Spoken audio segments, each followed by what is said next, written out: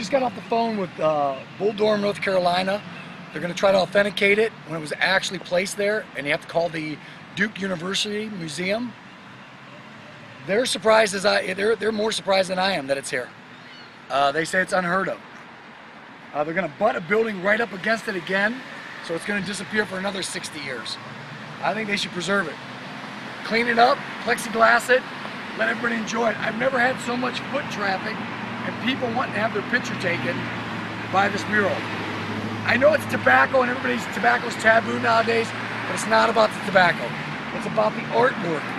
You know they didn't put a mural on the side of that building knowing there was another building going up next door to it. So this is dated 1907. So that mural has to be before 1907.